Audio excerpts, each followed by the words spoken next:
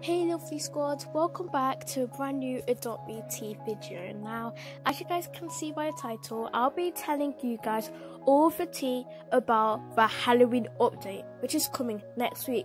Yes, it is coming literally next week. So if you want to know all the info, make sure to like and subscribe if you want to. It will support me and my channel. Now let's get right into it. So, as you guys know, we thought that we weren't going to have a Halloween update, considering as the Fossil Eggs was quite a big update, and for about 9 get it ready, meaning that we might not get a Halloween update. But whilst I was just like scrolling through Instagram, also, if you haven't followed me on there, my act is at Nixie Bar with two eyes, but I saw this.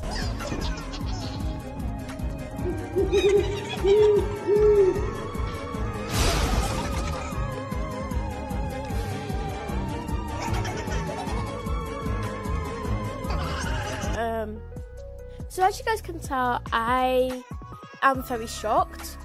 Um, like, what are they using for pumpkins for? Like, is this going to be an accessory when we walk into Adopt Me? Where is this going to be? I have no idea, but as you guys can hear in the clip, there's spooky music. Now, maybe when we log into Adopt Me, we'll hear spooky music or something. I have no idea whatsoever.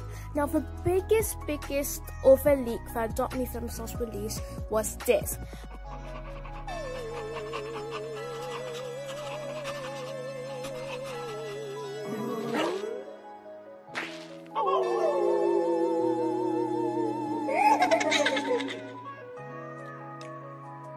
I saw the three-headed wolves. Now, if you guys didn't see my last video about the Adopt Me pets, that the new Adopt Me pet that might be coming to Adopt Me, I'll insert it right here.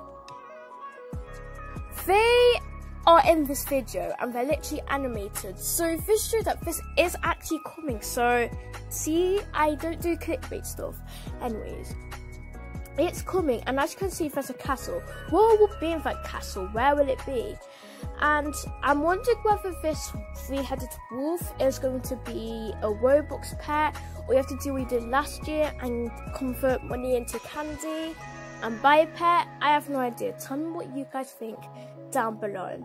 So it's all kind of really surreal and crazy to me about the whole Halloween update. I just thought I wanted to let you guys know.